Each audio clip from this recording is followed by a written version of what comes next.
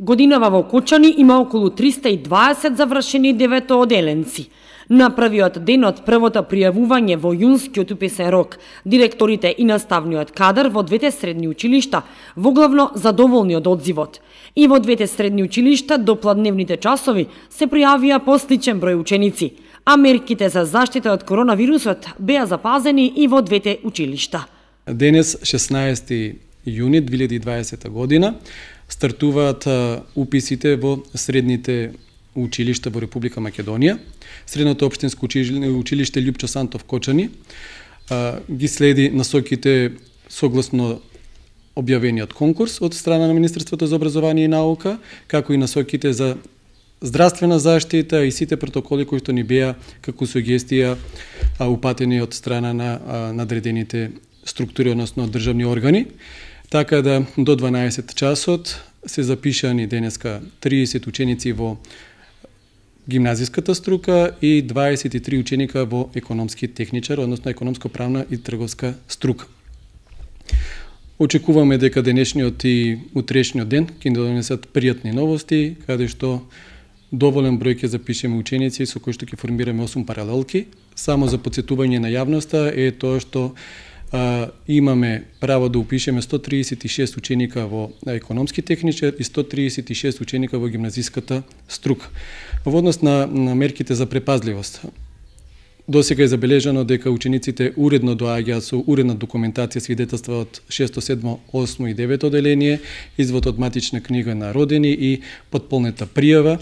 Спазени се, спазува, спазува, ги спазуваме мерките на а, здравствена дистанца, Уписите се одвиваат од источната страна на, на училиштето, екипа за дежурство и на, екипа, стои екипа за дежурство, како и екипа составена од комисија професори, кои што ги примаат документите за гимназиското образование. Од западна страна се примаат документите од страна на учениците кои што имаат желба да се запишат во економски техничар. Уписот тече релаксирано, протоколите се запазени и во однос на учениците кои се запишуваат и во однос на, на, на ние како вработени овде, членовите на комисијата. Значи, запазено е, се внимава, секој носи маска, се држи растојание, дезинфекциони средства има на влезот на училиштето, така да непречено се одвива запишувањето на ученици. До 13 часот се пријавени?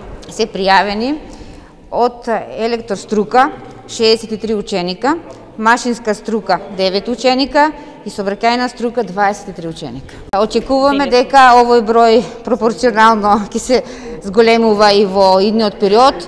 До крајот на денот запишуваме ученици до 19 часот, исто така продолжува и утрешниот ден. Од 7 часот са бајле до 19 часот е вториот ден на запишување од првиот рок, првиот уписен рок. Во гимназијата и годинава има место за 272 ученици, распоредени во 8 паралелки. А во средното училиште Гошо Викентиев, 442 ученици, распоредени во 10 паралелки. Девете оделенците за упис може да се пријавуваат и на 17 јуни.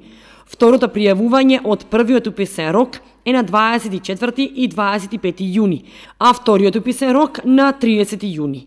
Новина е тоа што годинава заради состојбата со COVID-19, учениците имаат можност да се пријавуваат од 7 до 19 часот.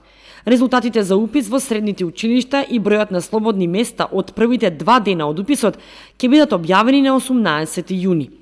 Критериуми за избор се средниот успех на ученикот од 6 до 9 оделение, како и средниот успех постигнат по 4 предмети, мајчин и странски јазик и два предмети што се од значење за струката, средна вредност од поени за поведение, како и дипломи од освоени места на државни и меѓународни надпревари.